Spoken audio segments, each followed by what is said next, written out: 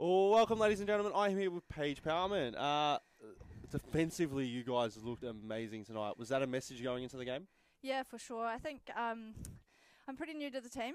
Um, only played a few games for the team, but since we started um, the first game, you could tell we were a brand new team together. But um, coming coming from the last few games we've played, we're really focusing on the defensive moves now. Bit of structure and um, strategy in it. Come away with the win. Yeah, no, it was a brilliant win. I don't think you guys looked uncomfortable in the entire game. I thought you guys felt the game was in your hands all day long. Um, I do have a question. What is it like having a young coach like Nicholas? Oh, he's great.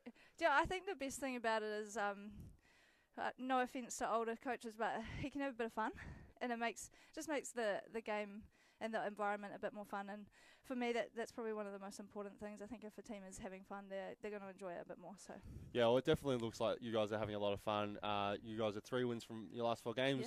Take away last week's result. Um, you guys are in very, very good form. You now sit equal points with fourth on the ladder. You are a lot of goals behind. I'm not. I'm not going to say you're not, That's okay. but you've still got to play both those teams one more time each. So, are you guys looking for fourth spot now?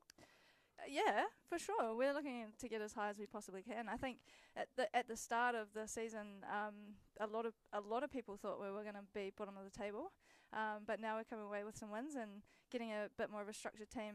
We're we're looking to win as many games as we can and, and place as high as we can on the table. No, thank you very much for your time, Paige. Thank you. Uh, guys, keep tuned. We're here for our, we're still here for our main event, which will be uh, Amazons versus Melbourne Evolution. Massive game in terms of the context of the season, so make sure you stick around for the next live stream. Thanks. We'll catch you in the next one.